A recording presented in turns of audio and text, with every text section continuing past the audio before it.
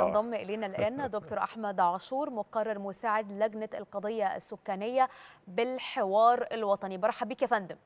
يا أهلا بحضرتك يا فندم. كنت معانا ال- الأسبوع اللي فات تقريبا وساعتها قلت لي إنه القضية السكانية هي زيها زي الإرهاب في الدمار والخراب تمام. وإنه هي قضية أمن قومي. لابد إن إحنا نلاقي حلول غير تقليدية آه، حلول خارج الصندوق علشان نقدر إن إحنا نحد من هذه الأزمة.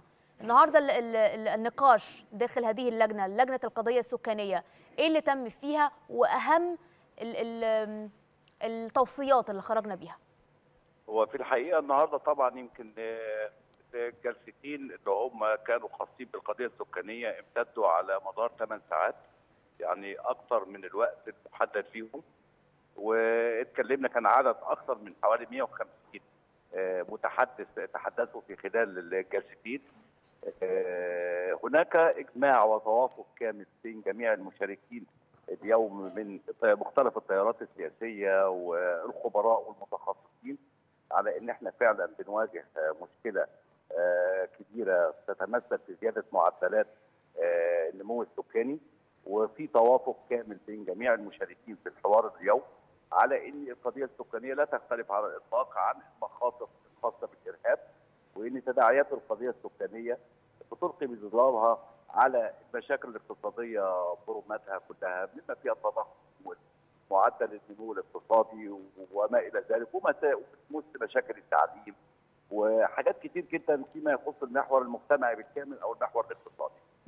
آه، كثير من المتخصصين طبعا اتفقوا على إن أسباب الزيادة السكانية أسباب ثابتة ومح- ومحددة ومعروفة وبنتكلم عنها من سنة 1965 أكثر من 10 استراتيجيات اتعملت على مدار السنين اللي فاتت. ولكن الاسترا- الاستراتيجية اللي بتتعمل نفسها ما بتتنفذ. فإحنا مش محتاجين استراتيجية جديدة. إحنا محتاجين إن إحنا نعالجها في ضوء المستجد- المستجدات اللي موجودة دلوقتي واللي إحنا حاطين إيدينا عليها. إحنا عندنا استراتيجية 2030 وعندنا يعني عندنا أكتر من استراتيجية زي ما حضرتك بتقول ولكن زي ما كان بيقول لنا دكتور عاطف محتاجين قرارات تنفيذية بالظبط. تنفذ على أرض الواقع. طيب كل الكلام ده مهم جدا يا دكتور أحمد. ولكن مش هيتم دون تفاعل المواطن.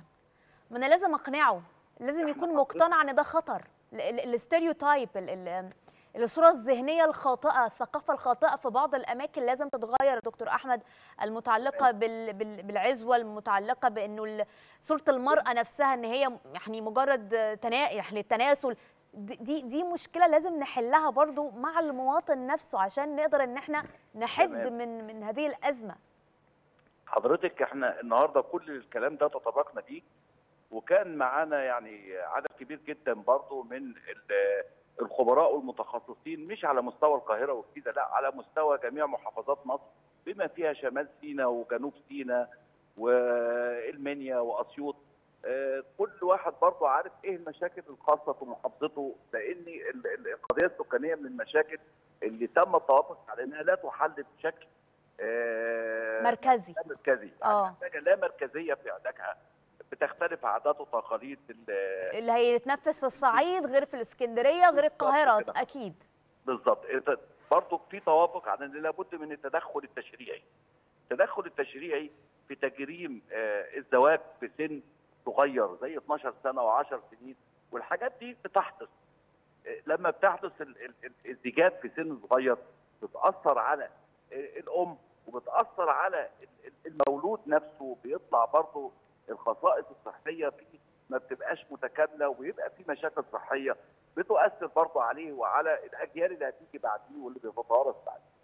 ففي توافق على إن لابد من التدخل التشريعي لابد من إن دور المجلس القومي للسكان يبقى دور مستقل بعيدا عن أي وزارة وبعيدا عن أي شيء آه، المجلس القومي للأمومة والطفولة وكانت معظم الاقتراحات بتقول إن يخضع آه، تبعية الجهاز المركزي الجهاز آه، آه، اللي هو المركز المجلس الخاص بالسكان والمجلس الامومه والطفولة يتبع رئيس الجمهورية حتى يولى اهتمام آه، الكل توافق على إن لابد من توافر الإرادة السياسية لابد من التوعية الدينية وكان موجود معنا ممثلين من آه، برضه موجودين من الأزهر أفادوا إن مفيش أي مانع ديني تنظيم الأسرة.